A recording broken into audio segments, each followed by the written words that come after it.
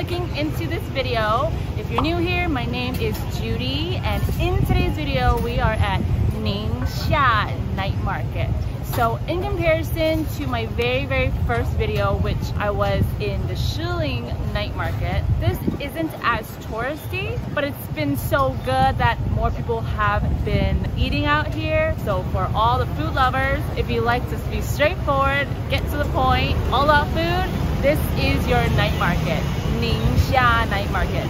So it's still pretty light right now and this is probably the earliest I've ever been to the night market. It's almost 6 p.m. and I'm super excited. Hopefully I get to have all the fresh meats, all the fresh foods that just came out. And as always, before we hop into this night market ride, if you haven't already subscribed to this channel, please click the subscribe button as well as the thumbs up button. You can comment down below, say hello, or if you have any questions or any specific content that you would like to see on this channel, comment down below. And without further ado, follow along. Let's go.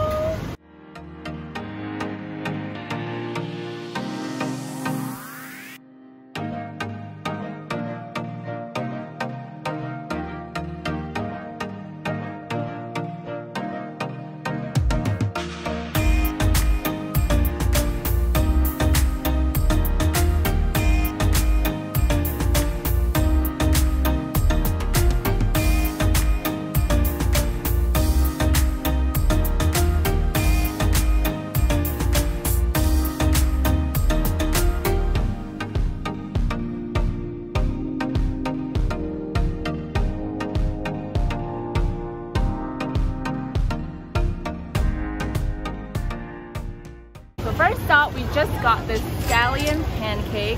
And this one's a little bit different from what you usually see because this is completely fried. And we got something super basic, just add in an egg, some chili, and a bit of basil with a little salt and pepper. And voila, fried scallion pancake.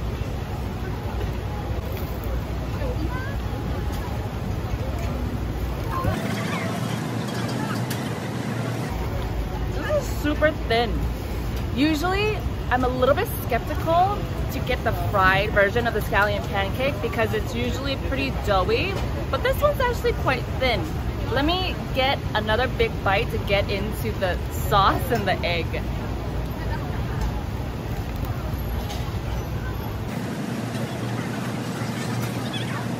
So, so far, it seems like there's a whole lot of the pancake, but not so much of the egg or the basil or the chili. So I would rate this a 7.85, just because most of the scallion pancakes that I usually get are really good and pretty meaty, and I probably wouldn't get this again. Just because.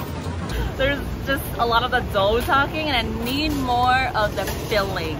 Okay, I just wanted to give it a benefit of the doubt and get to the bottom of it to see the true test of this fried scallion pancake. So I wanted to get another bite where it's completely filled with the egg, the chili sauce, the basil. One last bite.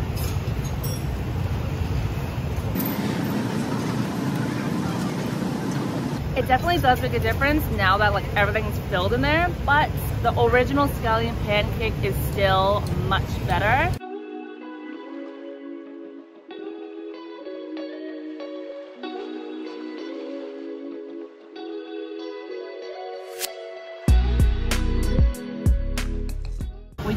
Down at this place who's apparently known for beautiful and handsome cookers which as you may have seen, the girls are skinny and pretty and the guy is pretty jacked. We just got a bowl of Kong Rou fat which is big pieces of the braised pork. Huge piece, nice and thick. The fat looks pretty juicy and it looks like they're pieces of bamboo shoots and a whole bowl of rice. Wow. Let's take a big old bite of this.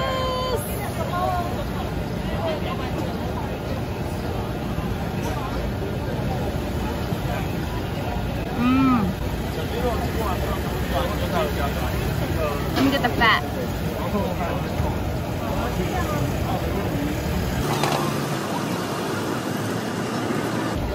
bit of the rice.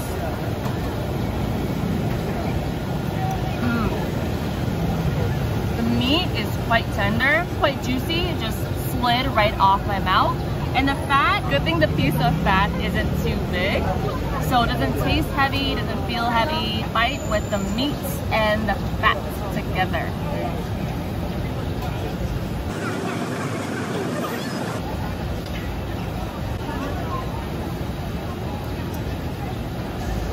The meat just slides right off. I haven't had the bamboo shoots yet though.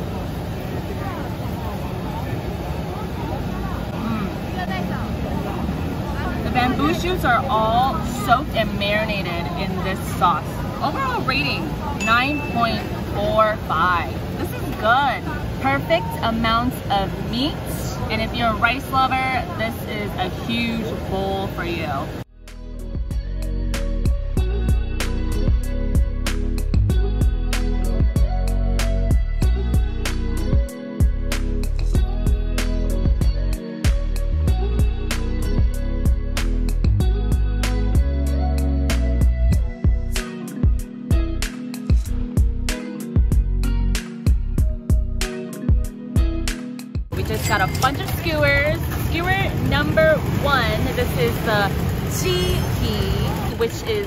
Chicken skin. Looking real saucy. Mm.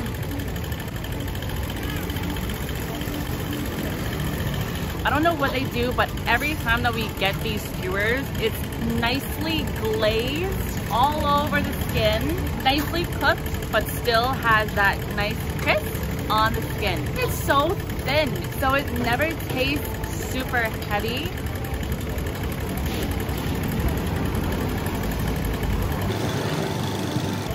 With the perfect amount of fat taste. Honestly, this is always an easy 11 out of 10. No questions asked. Second skewer on the list.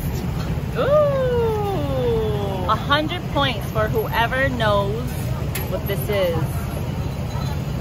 The infamous Chi Shing, which is the chicken heart.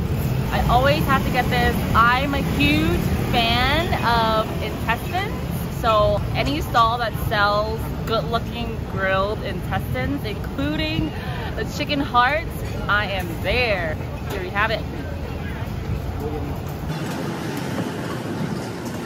These are a bit smaller from what I'm used to. I feel like they're like super miniature chicken hearts.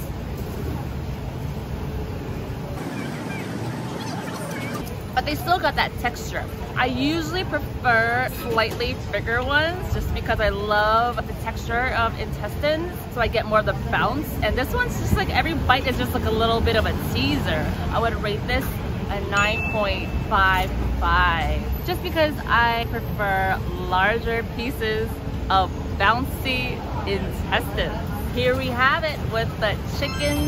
The chicken ass. They have a different Chinese name on the sign just so it's not translated Chinese. How can you not love Chicken ass. it's so juicy every time. Literally, I'm feeling like the oil is dripping down as I'm speaking. All right, let me take a bite.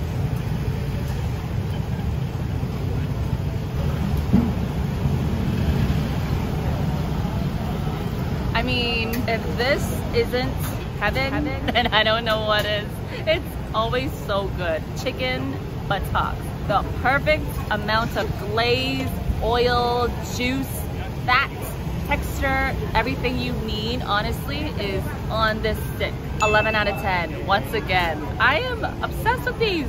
Last but not least, we have most expensive item on the menu, which is their Niu Hua, their thinly piece of pork wrapped all around huge pieces of scallions. So it's got a little bit of meat and a little bit of veggies. Okay, let's take a bite. The oil is literally dripping as we speak.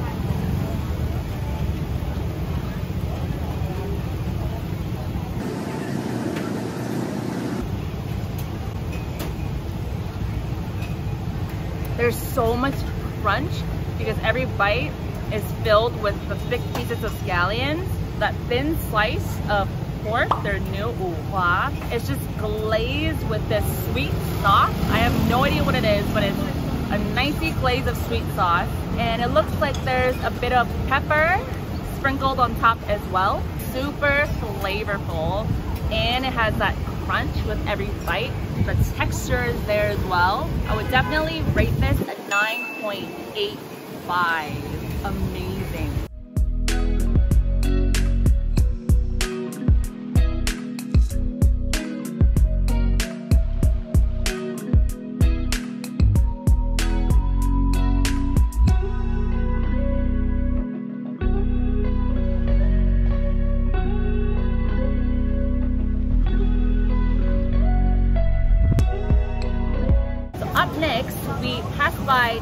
place selling a thinly piece of scallion pancake wrapped around a big piece of sausage. They call it the gaoliang xiangchang. So gaoliang, if you have never had it, it's almost 50 to 60% alcohol. The color is clear, and if you're trying to have a good time, then have some gaoliang.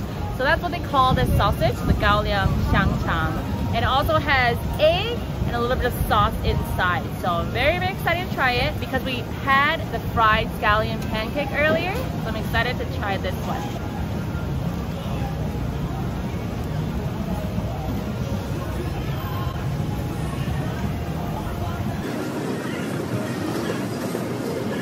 He put a lot of pepper on it. um, initial thoughts, this scallion pancake is a little bit too thin. It's so thin that I don't taste any of the texture. I don't taste any of the scallion. So it almost just tastes like a normal tortilla wrap. But a scallion pancake is usually so much more than that. All right, let me get into the meat.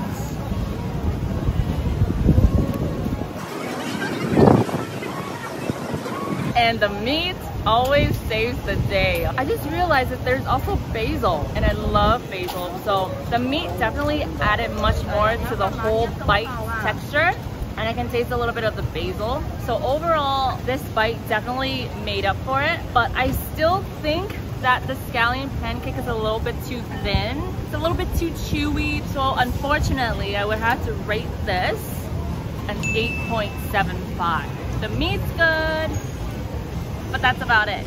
I'm a little bit disappointed in the scallion pancake and I'm almost on a hunt on showing you guys a good scallion pancake.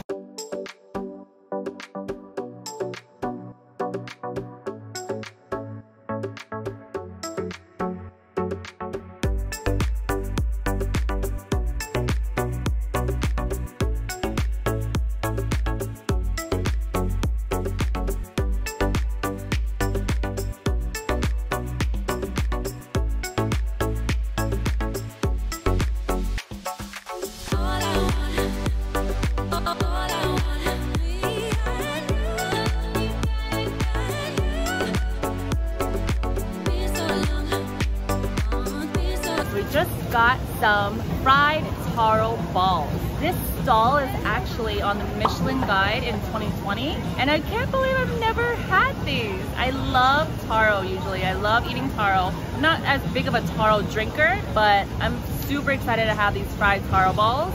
And they have two options to choose from. One option is the salted egg yolk and the other is the meat floss that's all stuffed inside. So very excited to try this get a bite.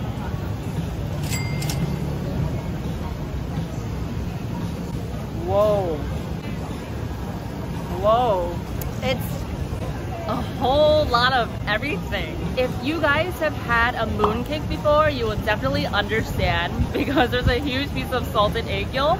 And actually, I thought they were gonna be separated, but it's not. It's salted egg yolk on top of the meat which is interesting wow, that was a lot of just everything on top of the taro itself. Um, I would say it's definitely pretty heavy. You would definitely need to share this with someone even though it's just a small ball. I would rate this a 7.95 even though I know it's on the Michelin guide but I think for me the salted egg yolk and the meat floss together is a bit too much. If it was actually just a taro ball, I would probably like it a lot more. Okay, so it's come to my understanding that I got this totally wrong. It's actually one option is just fried taro balls and the other is with the meat floss plus the salted egg yolk. So I'm actually even more excited now because now I know that this is all taro, fried taro ball.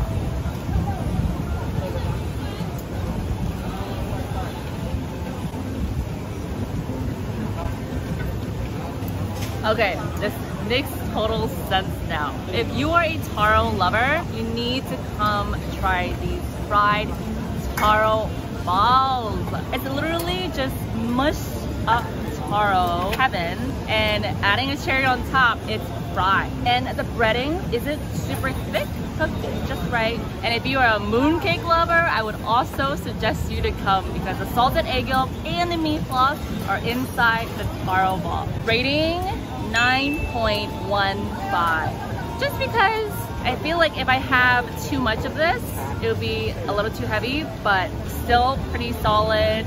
Taro lovers, come get them.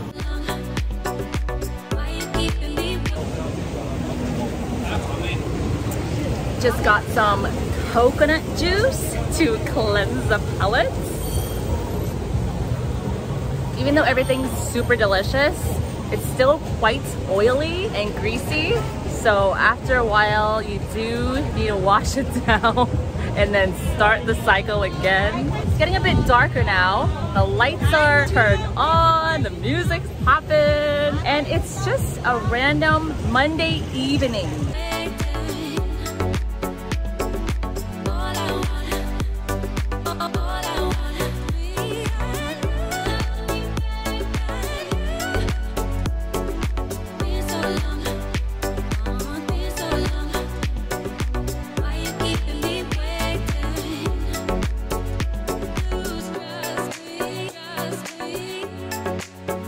Wow, that was a ton of food. I'm so full. I'm so satisfied. I hope you guys enjoyed today's video of me eating a bunch of delicious food at the Ningxia night market. It's definitely much more straightforward. No other shops, but just all food, food, food. And it's much easier to navigate because it is just a straight shot. It's not a maze like Shilin Night Market. So if you are just looking for food, Ningxia Night Market is the way to go. If you guys like today's content, please hit the like and subscribe button. Comment down below and say hello or leave any questions that you might have. And I will see you in the next one. Bye!